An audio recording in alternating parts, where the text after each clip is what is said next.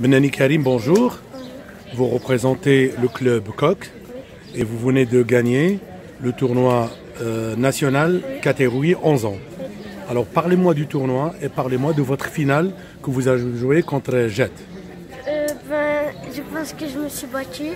J'ai donné le meilleur de moi et je suis content d'avoir gagné ce tournoi. Oui, alors le score c'était de combien? 6 de 6 C'était facile? Non, c'était un peu dur. Mais je me suis bien battu. Vous êtes bien battu Et le tournoi, comment vous trouvez le tournoi Comment trouvez Euh, l'organisation L'organisation est bien, la nourriture c'est bien. J'ai aimé ce, ce club.